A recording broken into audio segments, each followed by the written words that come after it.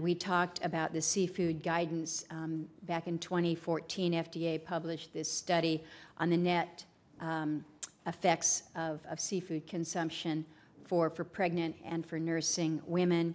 Um, but yet, the FDA's seafood, seafood consumption advice doesn't reflect this, contrary, contrary to the government's own finding. Effectively, FDA uh, relied not on their own research, but on EPA's mercury reference dose, which is a toxicology standard that ignores the benefits of seafood, in my view, and, and measures risks in isolation. So um, I have been pushing on this, as you know, to get the FDA to, to correct this, to reflect the FDA's own science instead of the EPA mercury data. So I, I would like to know from you whether you are whether you are willing to put some focus and energy into ensuring that effectively the the the FDA um, follows its own guidance here, its own science in um,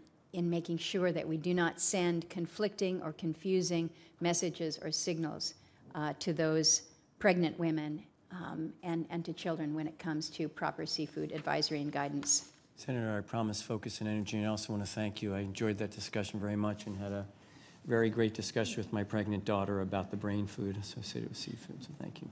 Well, I, I, don't, I don't want to throw out statistics out here, but an average 7.7 7.7 percent point increase in IQ for babies whose moms ate seafood during pregnancy. You want a smart baby? eat that, eat that seafood now, um, and uh, in in good quantities there. So